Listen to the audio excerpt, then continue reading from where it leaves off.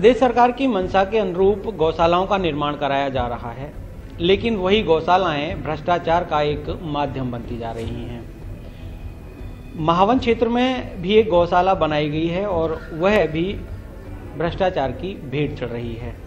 मेरे साथ में एसडीएम महावन हनुमान प्रसाद साहब हैं। मैं उनसे थोड़ा सा जानता हूँ और कोशिश करता हूँ जानने की कि ये भ्रष्टाचार का जो मामला है, उनके संज्ञान में है या नहीं है। और अगर संज्ञान में है तो वो क्या कार्रवाई करने वाले हैं?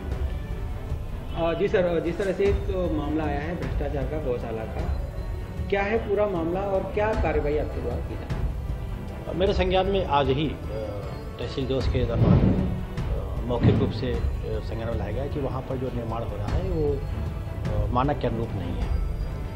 और अनुरोध किया लोगों ने कि उसकी जाँच करा ली जाए। मैंने मामले को गंभीरता से लिया है और मैं इस मामले की टेक्निकल जाँच के लिए डी साहब को मैं पत्र लिखूँगा, अनुरोध करूँगा कि जिला स्तरीय कोई टीम बना करके इसकी बाकायदे जाँच कराई जाए।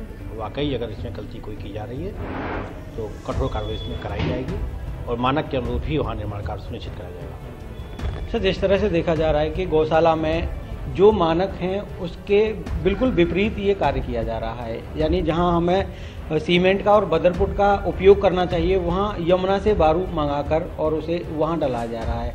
और एक खाना पूर्ति तौर पे वो किया जा रहा है कि निर्माण कार्य हो रहा है। उसके ऊपर क्या राय है? क्या मैंने आपको अभी बताया कि संज्ञान में मेरे आज ही आया है ये मैटर।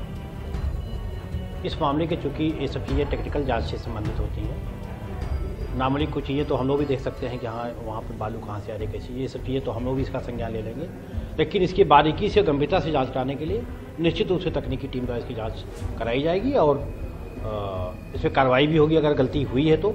और जो मानक है उसके अनुसार ही निर्माण कार्य होंगे, सुनिश्चित होंगे। ये थे मेरे साथ में एसडीएम महावन हनुमान प्रसाद साहब, जो कि इन्होंने बताया कि जिस, ये गौशाला में अगर घोटाले का अगर मामला है तो वह निश्चित ही एस डी एम साहब को पत्र लिखेंगे और उसकी एक टेक्निकल जाँच भी कराई जाएगी।